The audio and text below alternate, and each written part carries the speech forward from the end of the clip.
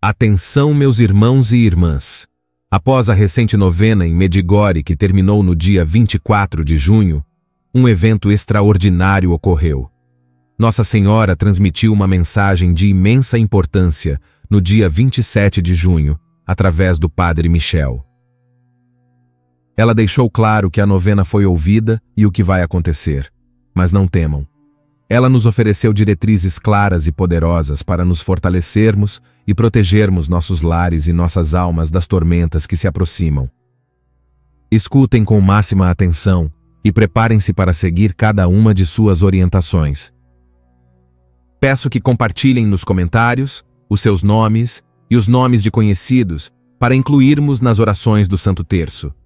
Também peço que compartilhem ao máximo este aviso sério é crucial que essa mensagem alcance o maior número possível de pessoas, para que todos estejam cientes e preparados para o que está por vir. A união em oração é nossa força nesses tempos desafiadores. Eis a mensagem de Nossa Senhora, que foi transmitida no dia 27 de junho de 2024. Meus queridos filhos, agradeço por atenderem ao meu chamado. A novena global pela paz no mundo é fundamental pois tenho o poder de resgatar muitos de meus filhos que se perderam ao abandonar a fé recebida no batismo. Ela também oferece graças de conversão para aqueles que ainda não foram batizados na igreja do meu filho, além de trazer um novo alento de esperança para todos os filhos do meu coração imaculado e para todos os que são de boa vontade.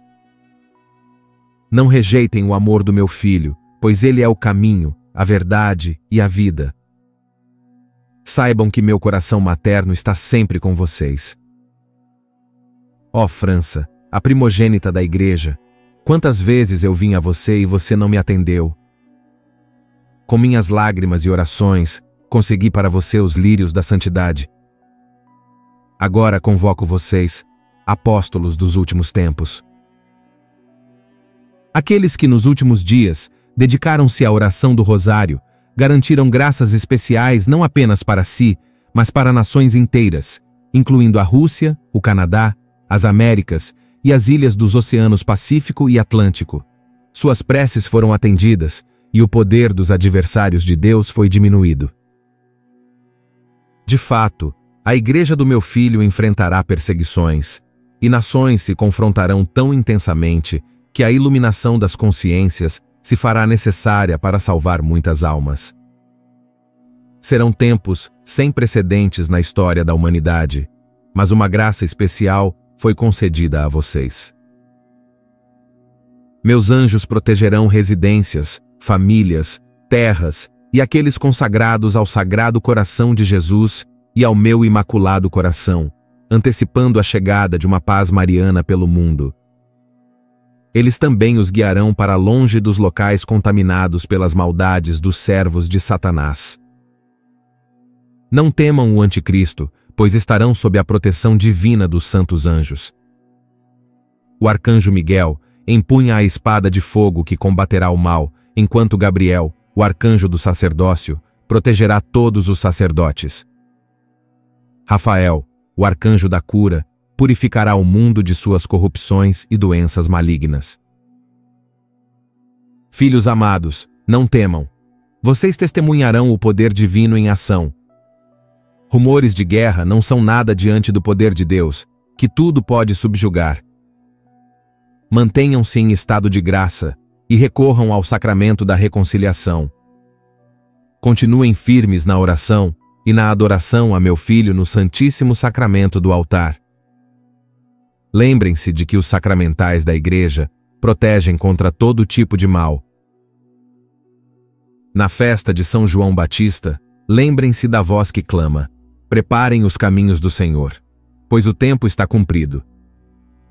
E vocês serão as testemunhas do Pai Celestial, de meu Filho Jesus e do Espírito Santo.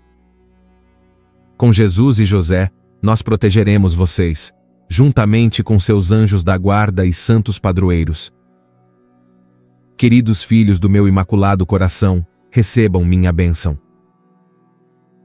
Após esta mensagem, foi perguntado à Virgem como devemos nos preparar para o que está por vir, e ela destacou a importância vital de uma preparação espiritual e material, garantindo que, mesmo em tempos de tribulação, aqueles que seguem suas orientações encontrarão segurança e providência. A Virgem pediu para consagrarmos nossos lares ao Sagrado Coração de Jesus e ao seu Imaculado Coração. Este ato transformará nossas casas em refúgios seguros contra as adversidades do mundo. É vital permanecermos em estado de graça, o que inclui frequência aos sacramentos, prática da oração diária, especialmente a do Santo Rosário. Além da preparação espiritual, a Virgem Maria aconselhou, para aqueles que puderem, a manter reservas de alimentos, uma medida prática para enfrentar possíveis dificuldades futuras. Ela assegura que, após fazermos o que está ao nosso alcance, devemos confiar plenamente que o Senhor proverá e nos protegerá. A mensagem essencial de Nossa Senhora é de não ter medo, pois ela está com o povo.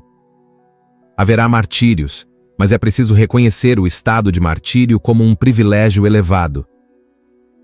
Ela revelou que a França desempenhará um papel crucial e trará um grande monarca, conforme prometido em La Salette. Este grande rei continuará a missão que lhe foi atribuída. Além disso, foi revelado que o conflito mundial pode ser desencadeado pelo falecimento de uma figura mundial. Vejam as notícias. As coisas não parecem estar indo muito bem nos Estados Unidos, França e Rússia. Este ano de 2024 é decisivo. Ela esclareceu que, embora alguns refúgios sejam espirituais, também haverá refúgios físicos para aqueles que se consagrarem.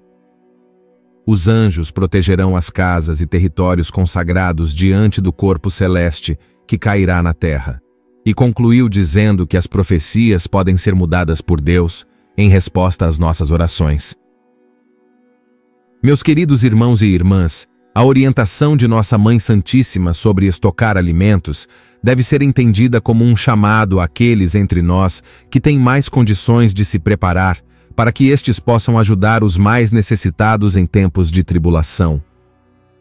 A verdade é clara e inegável. Enfrentaremos uma grande tribulação, como jamais vista antes, com colapsos econômicos, escassez de alimentos e crises energéticas. Negar essas possibilidades é ignorar os sinais que nos foram claramente revelados. Sobre refúgios, as Escrituras nos advertem sobre tais tempos. Por exemplo, em Mateus 24, versículos 15 e 16, Jesus nos fala sobre a necessidade de fugir para outro lugar quando vemos a abominação da desolação, mencionada pelo profeta Daniel. Quando, pois, virdes a abominação da desolação, de que falou o profeta Daniel, no lugar santo, então os que estiverem na Judéia fujam para os montes. Este é um claro exemplo de realocação estratégica, pois em momentos de grande tribulação, pode ser necessário buscar refúgio físico e se preparar materialmente.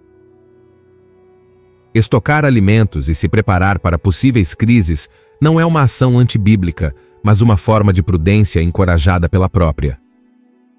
Vejamos um exemplo claro sobre crise de escassez e preparação. Gênesis 41, versículos do 34 ao 36, descreve o conselho de José ao faraó, após interpretar seus sonhos sobre as sete vacas gordas e as sete vacas magras, que simbolizavam sete anos de abundância, seguidos por sete anos de fome. O faraó ouviu o conselho, estocou alimentos, e o Egito não passou pela fome.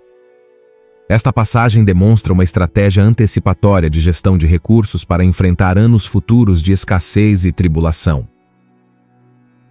Bom, é isto.